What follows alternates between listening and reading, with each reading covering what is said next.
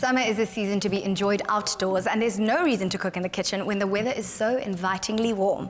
A delicious meal can be cooked with little more than a fire, a cast iron pot, and a generous helping of imagination, as Chef Rev Batohi reveals. Sea air whets the appetite, and after a day on the beach, Karishma was looking forward to soul food with an Indian Ocean twist.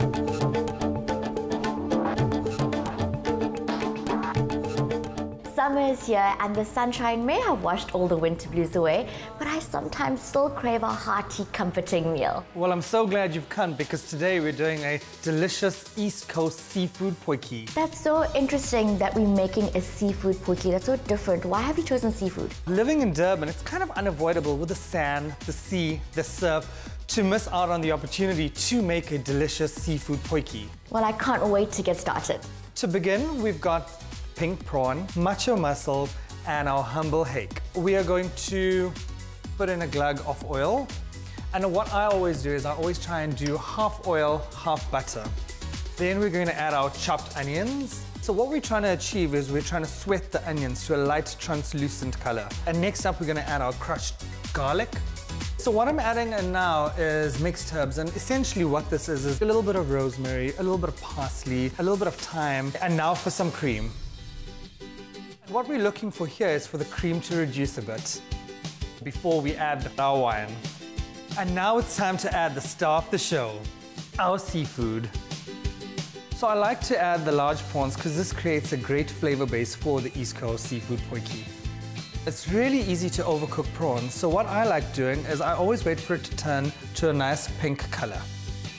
And now to add our mussels. I've used the half mussels. You can use the full mussels or you can use the half mussels. And what we're actually looking for here is that it needs to open completely before adding in your next ingredient. And if you're using the half mussels, how do you know that they're cooked? It changes color ever so slightly. And now for some fish. Could we use any fish for the potjie? Well, what I try and do is I try and add a nice white, firm fish so that it doesn't break apart in your potjie. We're gonna add some salt, and give that a nice generous helping of pepper. Binds everything together. And our parsley. That really does add a beautiful pop of color. Color, yes it does. And give that a nice stir. To accompany our East Coast seafood potjie, we're now gonna make a delicious salad jar. And the great thing about a salad jar is that we're able to take it wherever we need to go. So it's very portable, it's very mobile. And I always like to start off with something green, something leafy, such as lettuce. And here I use a frilly lettuce, followed by some red cabbage mixed with some grated carrots. If you can please pass me the chickpeas. And chickpeas is a great way to get your protein.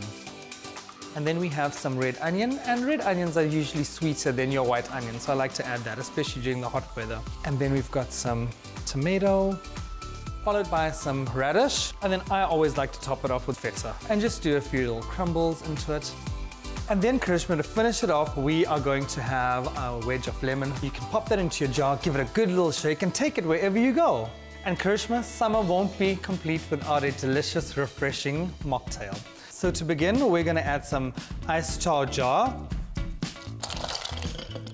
Add fruit pulp to our ice, followed by our soda water. But Please help me by taking this to the table. Sure. And Karishma, potjie won't be complete without some crispy bread. Try some. Love